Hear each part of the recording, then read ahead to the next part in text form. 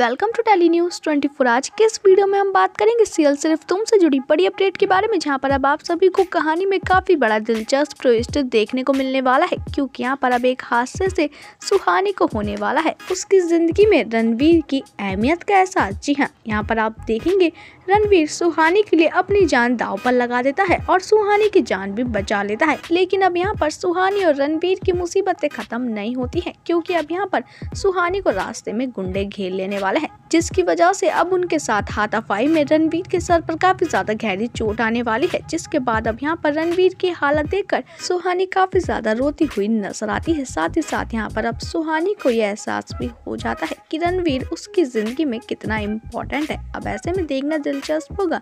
क्या इस हादसे के बाद अब यहाँ पर सुहानी कबूलेगी रणवीर के लिए अपनी फीलिंग्स देखना इंटरेस्टिंग होगा सीरियल सिर्फ तुमसे जुड़ा इस इसलिए अपडेट पाने के लिए चैनल को सब्सक्राइब करें अगर वीडियो पसंद आए तो लाइक करना